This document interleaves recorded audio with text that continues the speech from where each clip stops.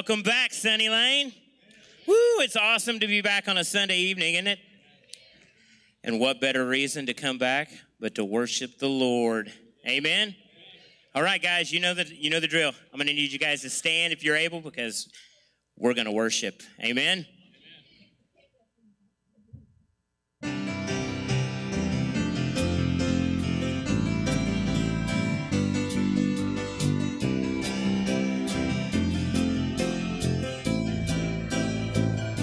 Here we go. This world is not my home.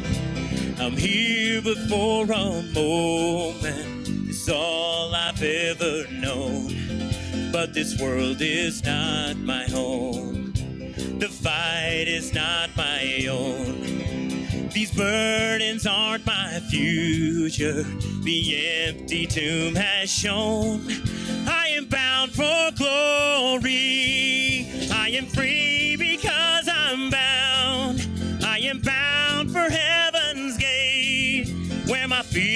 stand on holy ground. I am bound for glory.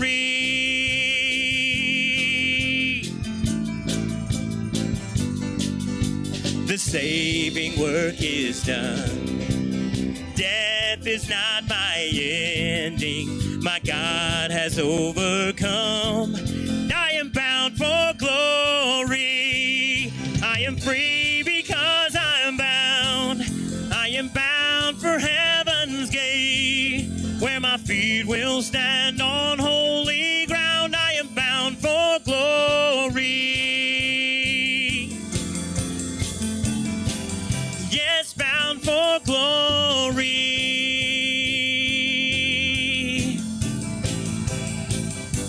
Church.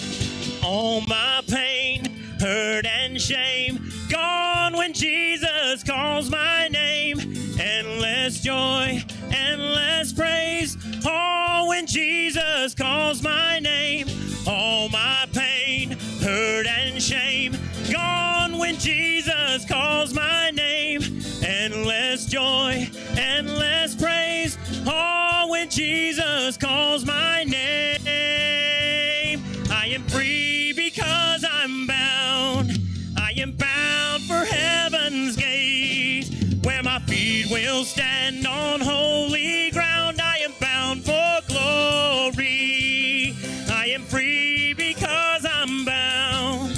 I am bound for heaven's gate, where my feet will stand on holy ground. I am bound for glory, where my feet will stand on holy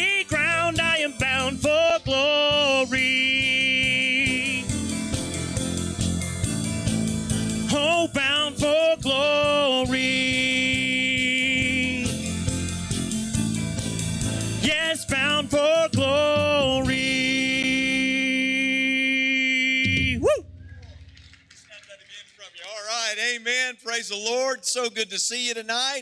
Are you glad to be in God's house tonight? Say amen. All right, listen, a lot of guests here tonight. Uh, we want to recognize and thank Craig Hobbs and his wife Tracy uh, for being here. Craig preached for us Wednesday night, and so, man, we welcome you, brother. Uh, for those of you that don't know this, I mentioned this Wednesday night, but Brother Craig and I uh, are doing a breakout session at the Evangelism Conference Tuesday on uh, revival and how to have a real revival. And we need that in America, amen? And we need that in the church. And so, anyway, uh, Craig asked me to partner with him, and I'm honored to do that. And so, he's here for that. And so, brother, appreciate you being here.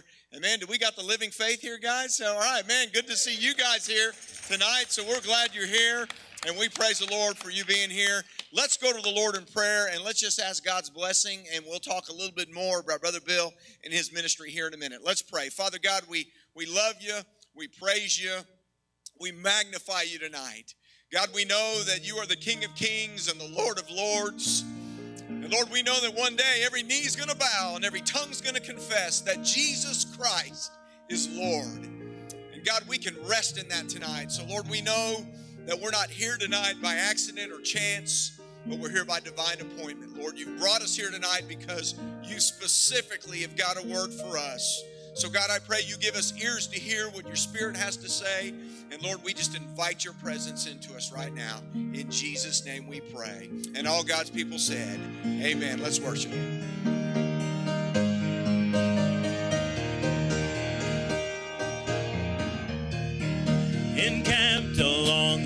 Hills of light, ye Christian soldiers rise and press the battle ere the night shall veil the glowing skies. Against the foe in veils below,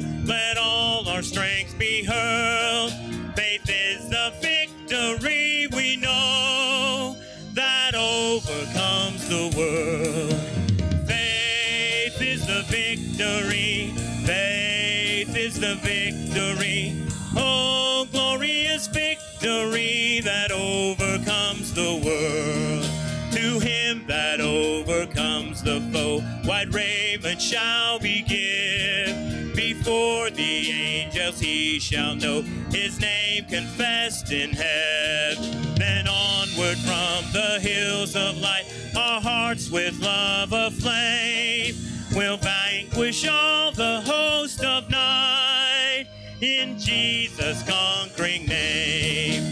Faith is the victory. Faith is the victory.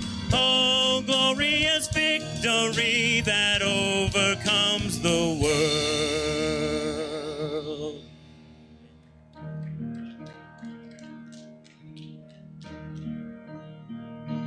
You unravel me with a melody. You surround me with a song deliverance from my enemies till all my fears are gone. And I'm no longer a slave to fear. I am a child of God. And I'm no longer to fear. I am a child of God.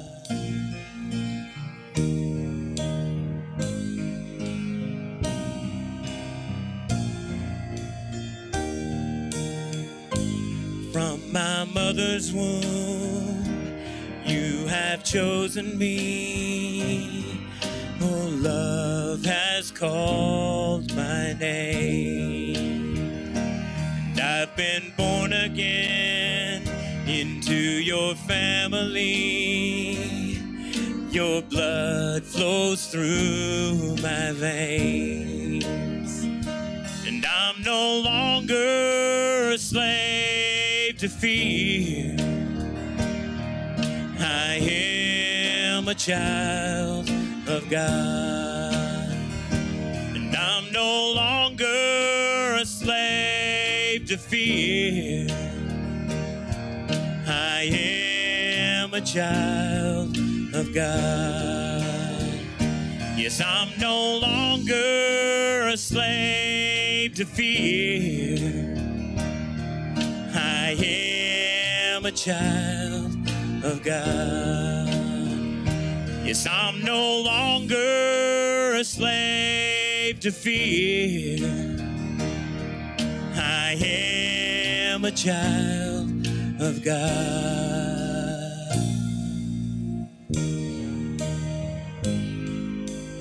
Oh, oh, oh, oh! oh. you split the sea so I could walk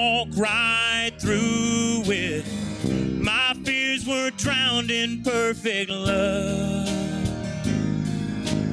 You rescued me so I could stand and sing. I am a child of God. You split the sea so I could walk right through it. My fears were drowned in perfect love. You rescued me so I could stand and sing. I am a child of God. I am a child of God. I am a child of God. I am a child of God.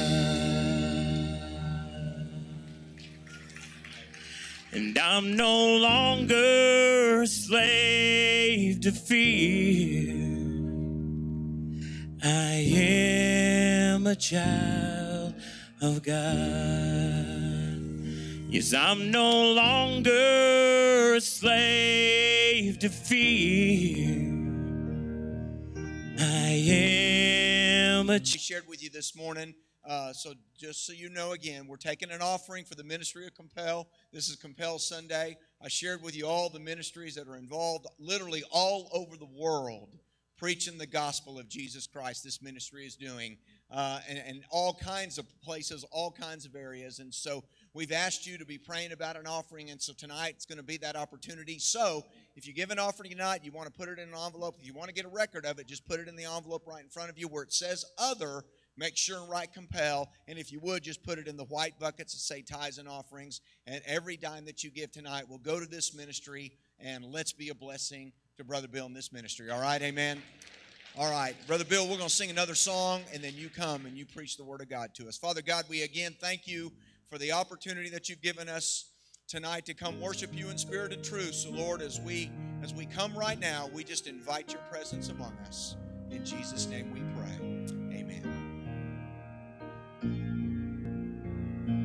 Bless the Lord, oh my soul, oh my soul. I worship His holy name. Sing like never before, oh my soul. I'll worship Your holy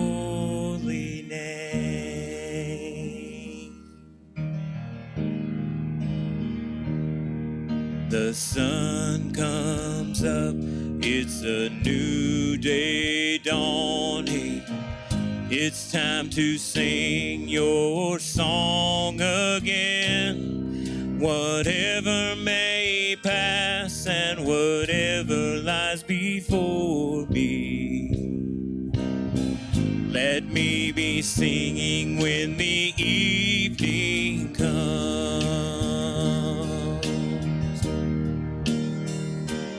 Bless the Lord, oh my soul, oh my soul.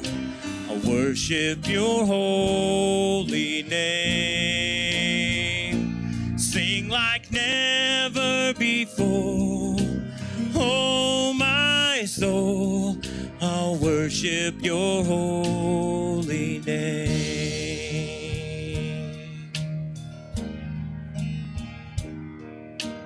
Rich in love and you're slow to anger. Your name is great and your heart is kind. For all your goodness, I will keep on singing.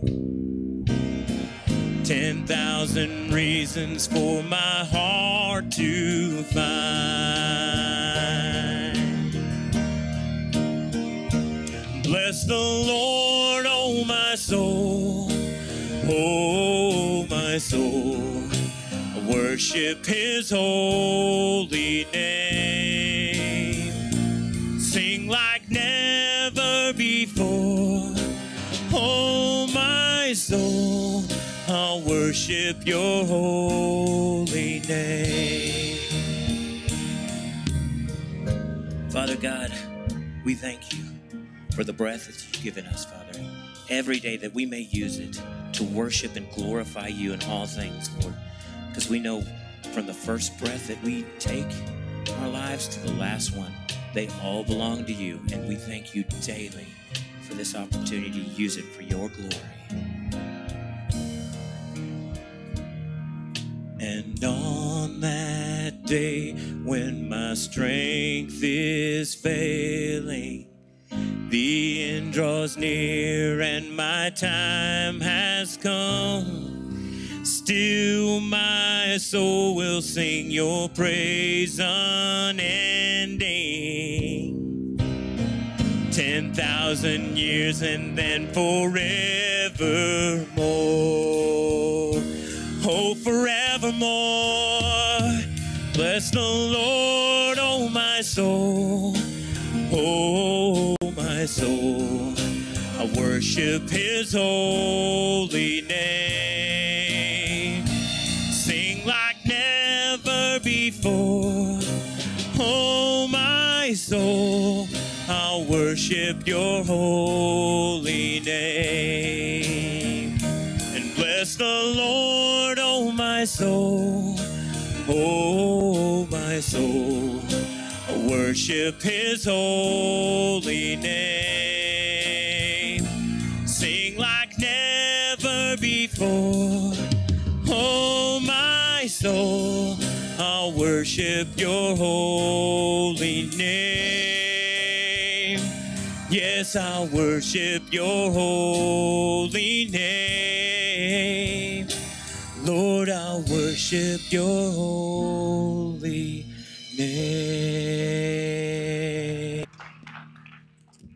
thank you, Chris, and all our musicians. Can you give the Lord a hand clap of praise tonight? Thank the Lord for the good music. Good to be in the house of the Lord on a Sunday night. Amen. Well, take your Bible tonight and turn to the book of Matthew, chapter 9. Matthew, chapter 9. And as Brother Danny said, we are uh, having the evangelism conference here in Oklahoma tomorrow and Tuesday. And, and uh, I thank God for the invitation to come and speak. Uh, again, this year, I think three years ago, I spoke at the evangelism conference here, and it's good to be back uh, this year. And I was just thinking of all the places that I've preached in Oklahoma through the years, and uh, it's just been a blessing. Uh, seen a lot of people saved in this state, and and uh, thank God for that. And uh, it's always good to be here at Sunnylane. And I want to uh, again thank the church for all the uh, encouragement, blessings, prayers, and uh, the financial support that you give us to keep carrying the gospel around the world. And uh, let me just share this with you because uh, uh, you have a big part in this. Um, we have a Bible college, for those that don't know. Uh, we just had students from India, but now we've got students from Bhutan, Bangladesh, Burma, Myanmar. And just think about that. Just a, a little school there in a remote area of India is sheep not having a shepherd. Now, uh, the word or the phrase that we have in our Bible, moved with compassion, is one word in the original language. It's used 12 times in the New Testament, eight times. It's directly connected to the Lord Jesus Christ. He was moved with compassion. Now, I want to talk about this for a moment because sometimes we get a wrong impression of what this really is. And so I want us to just get real tonight, as Jim Cymbala says many times up there at Brooklyn Town. I want us to have some real talk tonight. Can I hear an amen? Amen. So turn to your neighbor and say, get real for a minute. How many of you ever pulled up on a Walmart parking lot or up to a traffic light and there's a man or a woman sitting there with a cardboard sign? Amen. How many of you? Amen. Hey, can we just get honest? Mm-hmm. Right. Some of us, we look at that person and our first thought is that lazy bum needs to get a job. Let's just get real. We don't know anything about him. We don't know what caused his him or her to be there. We don't know any, but we well, but bless God, he ought to just get a job. Yeah. Amen. Or we might be a little more compassionate and uh, roll down our window and say, hey, can I go buy you a sandwich?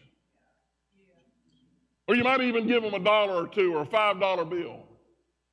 And here's, here's the reality of it, and, and we're just, we're being real tonight. Here's the reality. We feel sorry for them. We pity them.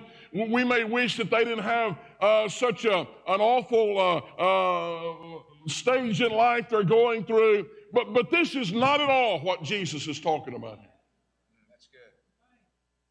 That's When he said, I'm moved with compassion, what it meant is this it was to get under the burden of their pain, it was to feel what they're feeling, to experience what they're experiencing. Now, ladies and gentlemen, if we begin to have that kind of burden in the church, we couldn't have enough seats to put out. Every chair would be full tonight. That's good. Uh, right here at Sunnylane. Uh, I don't know if it was the last time I was here. My wife was, and I were staying over at the uh, Holiday Inn Express. And uh, Sunday morning, first uh, morning we were here, we pulled out of the uh, parking lot of the Holiday Inn Express. We went to the traffic light right there in front of Walmart, and there's a guy sitting over there with a cardboard sign. And I'm telling you, as clear as I'm preaching to you tonight, the Holy Spirit said, pull over there and invite him to church. So we went over there and I invited him to church. Didn't really think he would come. And he bailed off, got in the truck, and he came, and y'all ministered to him. Yeah. Is anybody hearing what I'm saying now? But even at that, that's not really getting under the burden of it. To feel their pain, to know what they're going through, to experience what's going on in their life. Let, let me give you an illustration of what I'm talking about. One chapter earlier, uh, there was a man that was full of leprosy. If you're still with me, say, I'm with you.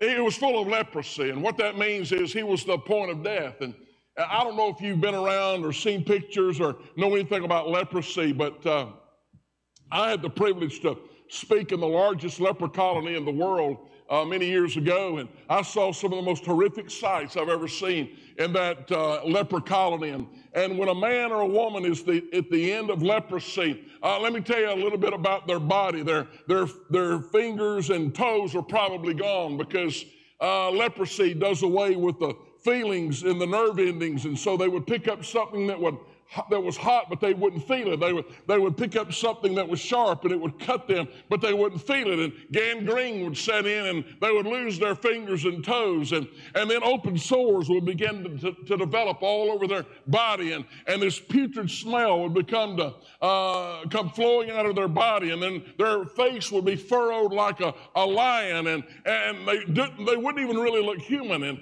and back in the Bible days, when someone uh, contracted leprosy, they, they couldn't be around folks. They had to walk downwind 100, 150 feet and they had to cover their mouth hollering, unclean, unclean. Right.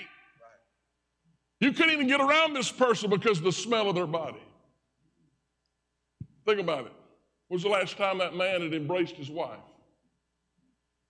Was the last time his children had climbed up in his lap and say, Daddy, I love you?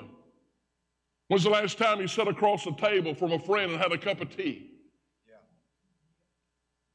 This man's dying. There's no hope for him, but he breaks through the crowd, according to Matthew chapter 8, and he finds himself at the feet of Jesus. And Jesus looks at him and says, What do you want me to do? And he said, I, I want you to heal me of this dreaded disease of leprosy. I know, this is what the man said. He said, I know you can, will you? And Jesus said, I will. And the Bible says Jesus touched him. 39 times in the New Testament, the word touched is used. 29 times it speaks of Jesus. And this word, this particular time, and you could read it probably in other accounts where the word touched is used, it doesn't mean that he put his palm on his forehead or he touched him with his index finger. It meant that he lifted the man up, he embraced himself, he attached himself to this man. Before he was healed with all of his disease, with all of the sores, with all of the things going on in his body, Jesus embraced the man.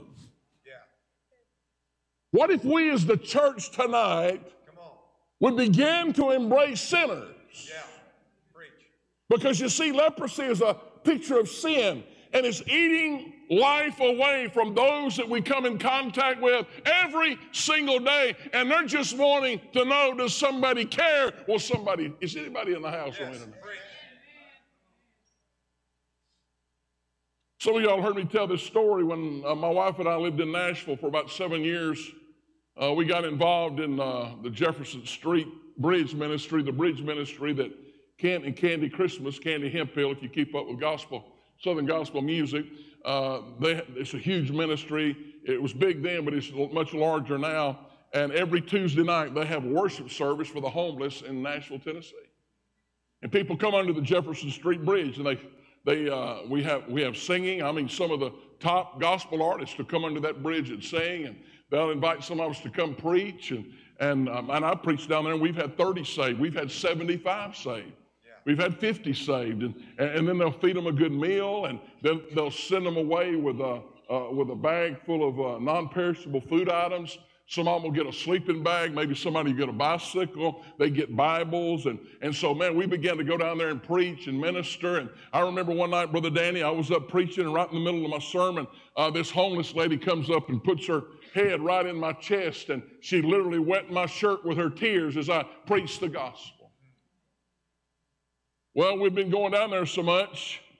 Some of the folks that went to the church there, they came to me and said, Big Papa, would you baptize us?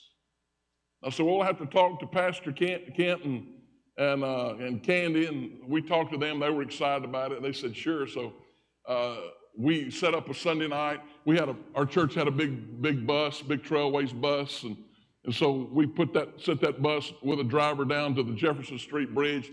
We filled up that bus with homeless people and we brought them into our church facility. And man, we had a, we had a feast waiting on them. They, they ate out of china plates and they drank out of crystal glasses, and we, the women were dressed uh, uh, to the T, the men were dressed to the nines, and we waited on them hand and foot. We gave them sacks full of non perishable food items, and we gave them sleeping bags and Bible, and, and just really tried to minister to them and love on them. We went in our worship center. We had a great time of praise and worship. We had a time in the Word, and then I started baptizing folks. After I'd baptized the first three or four of them, you couldn't see the bottom of our baptistry. It was so dirty. yeah. These are dirty people, right. street people, diseased people. Yeah. One guy we baptized was in a wheelchair. Some of the men in the church helped me baptize him. and They got him into the baptistry. When uh, I lifted my hand to say, I baptize you, my brother, in the name of the Father, Son, the Holy Spirit, they, they put him under the water for me. And when, he, when they brought him back up, he threw both hands up in the air and he began to shout, Praise God. And here's what he said He said, I never thought anybody would love me enough to baptize me. Amen. We're talking about touching people. Well, our church was excited, man. I mean, we were fired up, man. I was on cloud nine. I mean, I was I, I was ready to uh, uh, assault hell with a water pistol. You know what I'm saying? And one of our resident Pharisees came up to me. Yep. Here we go. How many of you believe that Jesus is the same yesterday, today, and forever? Amen.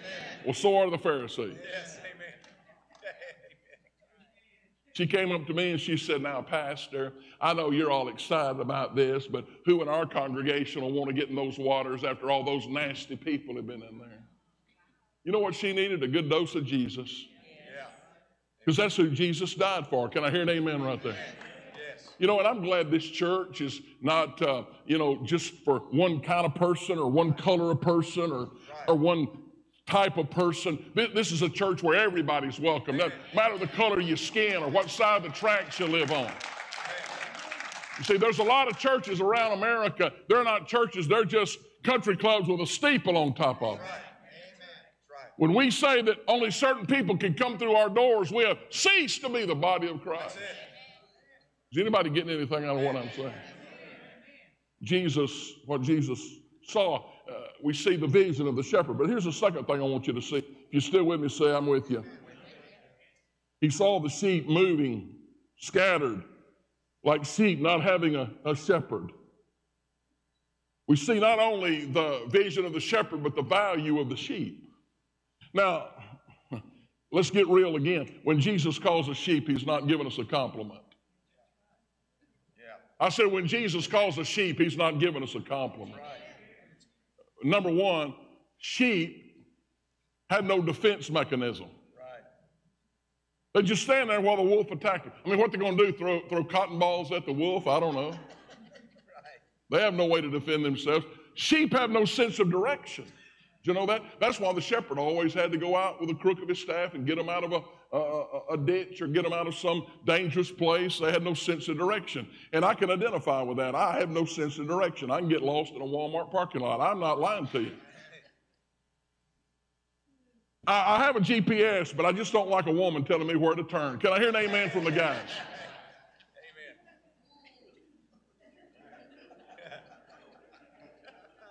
And she, listen, I'm not trying to offend you, defend you, I mean, offend you. Sheep not only were defenseless and directionless, they were dumb. Y'all still with me? Can we just get real again? 99 times out of 100, when we get in trouble, we get in a bind, it's because we did something stupid. We said something stupid.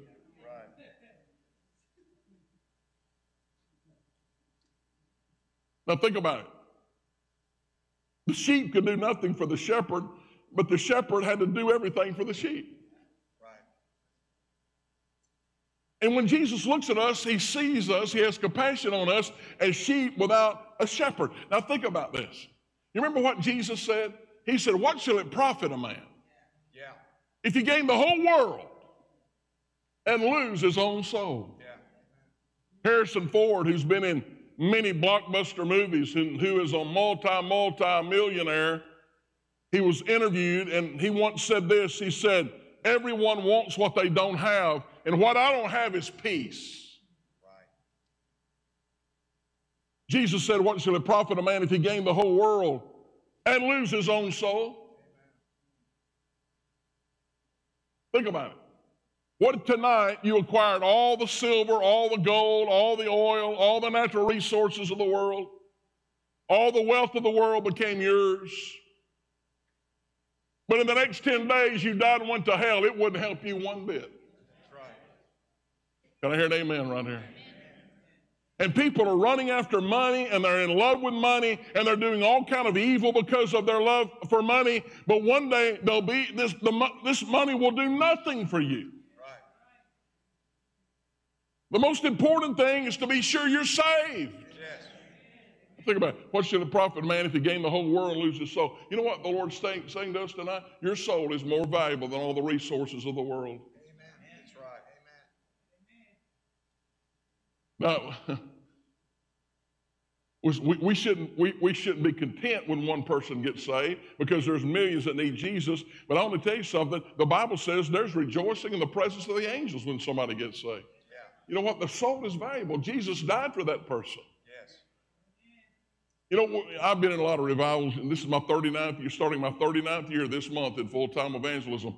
And, uh, you know, I, have heard people say, well, if only one person gets saved in this revival, it'll be worth all the effort. And then one little old boy or girl gets saved, and somebody say, well, we spent all that money that time, and only one person got saved. Yeah, right. yeah. We missed it. Right. Amen. My Bible says it's not God's will that any should perish. That's right. It's His desire that all men everywhere be saved. Am I right or wrong?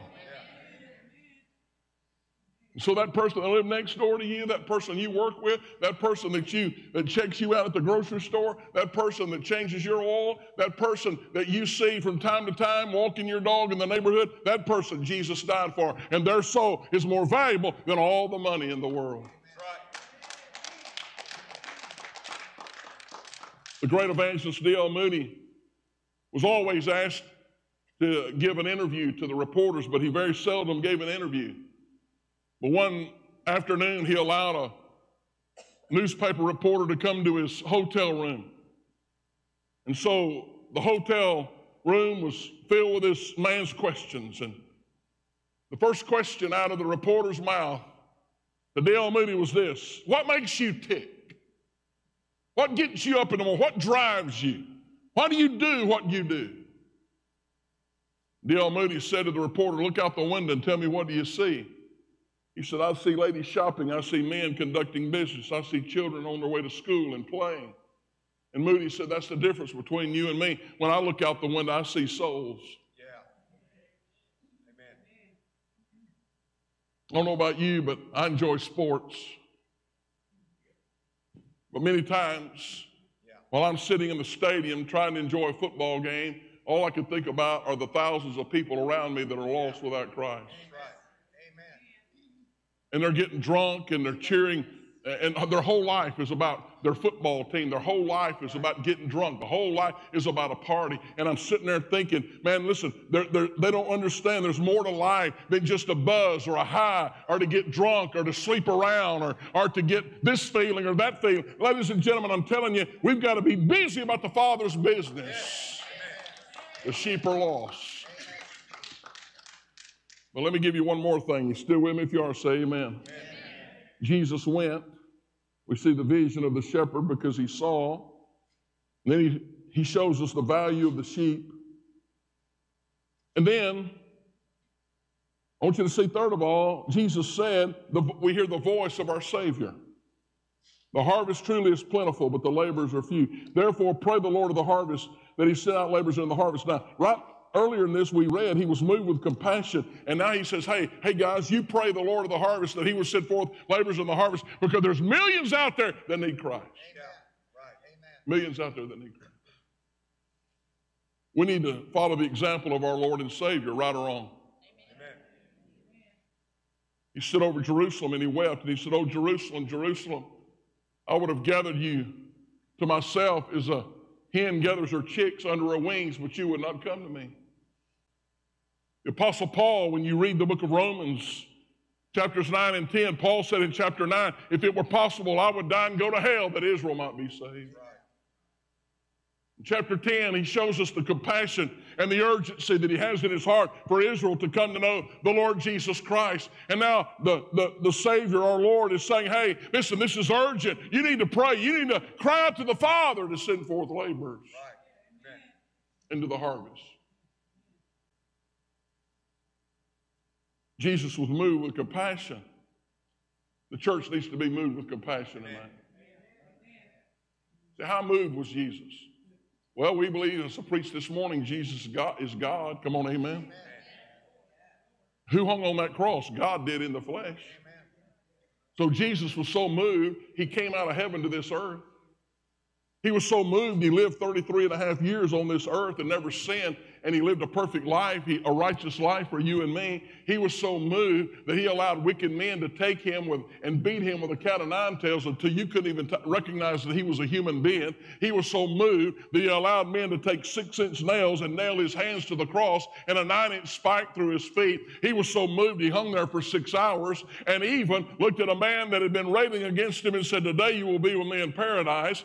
He, he was so moved, he said, Father, forgive them. They don't know what they do. He was so moved, he said, It is finished. He paid the price for our sin, past, present, and future so moved that he literally died on that cross. He was so moved he went to an empty tomb. He was so moved on the third day he rose again from the dead. He was so moved he walked on this earth for another 40 days to prove to us he was the resurrected Lord. After 40 days, he was so moved he ascended back to the Father. He was so moved. Now he's sitting at the right hand of God, interceding for the saints, preparing a place for us. Honey, that's getting moved right there.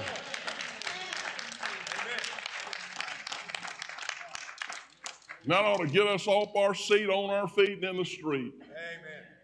Telling somebody about Jesus. Yes. Now, notice over in chapter 10, we went over to verse 1 after he had said to these disciples, Pray to the Lord of the harvest that he would send forth laborers into the harvest.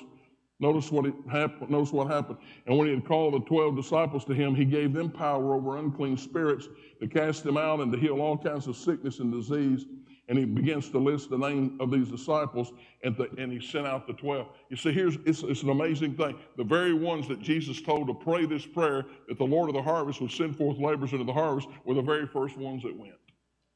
Yeah. Now as a pastor brother danny i'd have people come to me from time to time and say you know what brother bill? Our church needs this. We, we need a bus ministry or we need this ministry. And uh, what they were saying is here's what you need to do. Yeah. So I learned that pretty quick, you know, pretty early in my ministry. So when somebody would come to me, like a lady came to me one time, she said, I'd love for our church to start a bus ministry. And I said, Praise God, me too. She said, For real? I said, Yeah, for real. And you're going to be the bus captain. She said, Well, you don't think our church needs to buy a bus? I said, No. When you fill your car up with people on Sunday morning, then we'll get a van. And when you get that van full, we'll buy a bus. Amen. Now, here's what I'm saying to you tonight. We don't have to wait for something. Listen, all of us can do something right now. You can get on your knees tonight before you go to bed and say, Lord, please send forth laborers into the harvest. Yes. I guarantee you this church will load you up with gospel tracts. Yes. I, am a believer in gospel tracts. I pass them out all the time. Matter of fact, I was in one city in Louisiana and I went to McDonald's on the way to church to get me a bottle of water. And so I, you know, pulled up to pay for the water. And uh, then uh, I gave that girl a, a, gospel tract. And then when I got to the next window, uh, it was the same girl. And she gave me my bottle of water. I paid over here and she gave me my bottle of water. I said, You look just like the girl that I paid. She said, Well, I am. I said, Well, I believe the Lord wants me and you to talk. So I'm, I'm down here at this church preaching revival. Would you come tomorrow night? She said, Well, I can't come tomorrow night. I'm working, but I'll come the next night. And I've heard that a million times. But you know what? She showed up. Yeah. And know what? She got saved. Amen. Yeah. And you know what? We extended the revival another night. She brought a friend and she got saved. Yeah. We can all do something. Right. Can I hear an amen right there? One old boy, he got a burden for his friends. And uh, man, he just got saved and he went home from revival one night. On the way home from revival, he went by his friend's house he knew was lost. And he, uh, he, his buddy was watching a football game. And so he just pulled a chair up and sat right between him and the television. And the guy said, What are you doing? He said, I'm going to sit here and pray till you get, until you get saved. You know what his buddy got saved? Amen. Yes. Years ago, a daughter and some grandkids begged their grandpa to come to a revival where I was preaching. And you know what? He came, he got saved. He was a town drunk. Yeah. Hadn't had a drop of liquor in 30, 40 years. Right. Amen. All it took was those kids inviting him. Right. Amen. You say, well, Bill, I've invited them over and over and over and invite them again. Yeah. Right. When I was going to seminary, uh, Dr. Gray Allison told us a story about two men that went to Bellevue Baptist Church. And uh, 69 Monday nights in a row, they went to the same guy's house, shared the gospel with him, invited him to church. They got the same response. They got a cussing, and the door was slammed in their face. On the 70th night, Monday night, they decided they would go visit somebody else. So they got another card, and they were going to go out and make that visit. And the Holy Spirit said, No, I want you to go back and visit that guy again. On the 70th night, that guy got saved. Amen. You say, Bill, how long should I witness to them? Until they quit breathing. That's right. Amen. We've got to get a compassion and move with compassion for the law. We've got to hear what Jesus is saying. We've got to see what Jesus is doing and emulate our master. Can I hear an amen tonight? Right. And I know y'all been pushing this, and it's a great idea and it's a great thing. Who's your one? If everybody in here could win one person to Jesus between now and the end of the year, wouldn't that be wonderful? Let me ask you something. Who's, who you burdened for tonight? I was pastoring a church, and God was blessing. We had baptized like 36 Sundays in a row. Our attendance had tripled. And uh, there was some men in the church that got together wanted to run me off. Now, one of these men had a son that was a bad, bad drug addict. Brother Danny, I'm telling you, every time we, we had a prayer meeting at church or in homes, we prayed for that boy. But I never saw that man at the altar praying for his own son. But he was having, he was having secret meetings trying to get me run off. What if he'd have used the energy trying to get me run out of town to pray for his son to be saved? That's good. That's good. But a lot of folks were praying for the boy, and about 11 o'clock one night, I got a knock on my front door. Nobody came to our front door at my house, and and uh, I went to the door, and there that boy was. He was broken. He was weeping. He said, uh, Brother Bill, if you'll let me come in, I need to talk to you. He came in and he got saved in my living room. Amen. So you have children and grandchildren tonight. When's the last time you shed a tear for them? They need to be saved. Amen. Last year, my youngest grandson, his name's Hunter, Wendy and I went to Dallas to go uh, help celebrate his birthday. We, we just moved from Dallas back to Louisiana, for those that don't know. And, and uh, so we're in the restaurant. We, he chose the restaurant where we ate. And so uh, I was I was about half kid and half serious. I said, Hunter, it's your birthday. Why don't you say the blessing? He said, Okay. But I got an announcement to make first. I said, Okay, what's that? He said, I just want to announce to everybody that I'm now a full time Christian. I've been saved. Amen. 10 year old kid. Not ashamed of the gospel. Let's ask God to give us boldness tonight. Let's ask God to give us a burden. Let's do like Vance Havner said. Let's bring Mr. Amen and Mr. Tears back to church. Let's begin to weep and baptize these altars once again with our tears for souls. Now, I got to confess something to you. Uh, you know, I've never really been much of uh, uh, having a pet. Okay? Especially in the house. My dad said animals outside, people inside. That's the way I was raised. But here recently, my wife and I have a, have a, have a puppy in our house. And I want to tell you something. I love that little puppy. But that puppy's not a human being. Right. Right. Some of us weep more over our pets than we do over people. Amen. That's good word. Who, who's you burdened for tonight? If every if, if this church depended on your soul winning, how many people would get saved this year? If this church depended on your prayers for the lost, by the way, let me say this. I see a lot of prayer lists through the years, and I'll see hundreds of names on there praying for the sick. You know, we pray, we spend a whole lot more time praying for the sick to stay out of heaven than we do the lost staying out of hell. Now, if I get sick, I want Sunnylane praying for me. But I want to tell you something. We ought not just pray for the sick by the hundreds and never pray for the lost. Amen. I got a friend right now. He's got cancer. It's uh, been in his kidneys. Now it's attached to his liver. And he called me the other night. He got a, had a CT scan. Well, I actually called him to check on him. And, and he said, You know what? He said, Bill, he said, It's all good, man. He said, I know Jesus and I know I'm going to heaven. And if God lets me live another 10 years or another 10 days, I'm going to give him praise and glory. And I'm going to try to tell everybody I can while I'm still breathing about Jesus. Amen. That's what it's all about. Amen or not? Amen. Let's pray. Now, I want us to do something a little, maybe a little different tonight as we have our invitation. Whoever's going to come and, and play, just begin to play softly. I know this is a Sunday night crowd and there's a lot of believers here tonight, but I never take for granted that everybody's saved. But I want to ask you, just because I would be remiss if I didn't do this. We don't know if we got another night, another hour, another day. Come on, amen. So we need to be sure everybody knows the Lord here tonight.